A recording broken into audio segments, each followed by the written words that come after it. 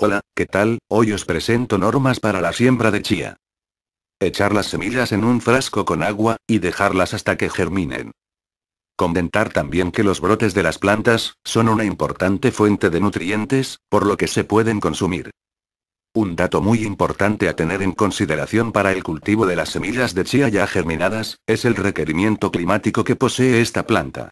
Las plantas de chía no toleran las heladas, por lo cual debe realizarse su cultivo en zonas donde las temperaturas no desciendan hasta los 0 grados en la época fría. El invernadero es una alternativa.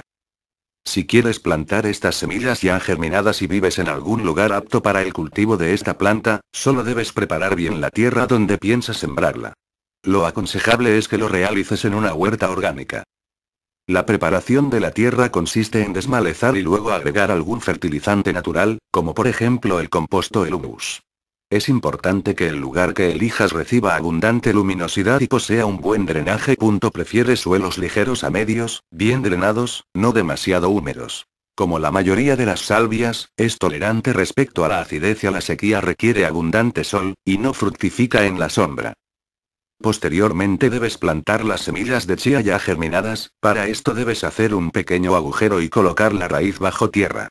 Es importante dejar una separación de al menos 20 centímetros entre cada planta. De esta forma estarás iniciando tu cultivo orgánico de chía.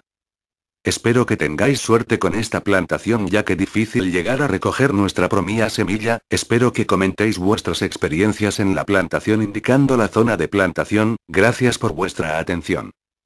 Que paséis buen día. El futuro tiene muchos nombres. Para los débiles es lo inalcanzable. Para los temerosos, lo desconocido. Para los valientes es la oportunidad. Me interesa el futuro porque es el sitio donde voy a pasar el resto de mi vida.